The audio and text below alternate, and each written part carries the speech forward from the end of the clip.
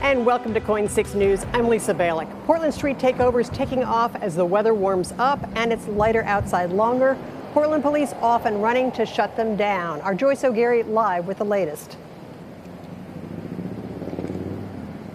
Portland police tell us hundreds of people were involved. At least six people were arrested. One gun was seized and 12 cars were taken away. And people who live in the neighborhood say they're tired of the street racing. Happening for long enough now that, like, there doesn't seem to be a strategy for how to stop it. Portland police, along with other agencies, responding to street racing on Northeast Glisan and 102nd Street.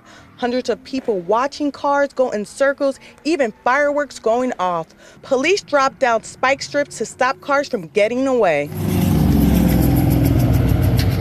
Another Portland Street takeover Friday night on Swan Island, where at least one person arrested and more than a dozen cars were towed away. Officers arrived just before 8 p.m. People who live close to these intersections want police to put an end to street racing. It's loud and it smells bad, and you know, you get a bunch of strangers just clogging up your street, and it won't stop, and nobody seems to be able to do anything about it, and then it's just irritating for all the people who are trying to get through the intersection and just every it's it's disrespectful to every person except for the people who are participating in it. Governor Tina Kotek signed a bill into law in 2023 that will increase punishments for people caught street racing in the state.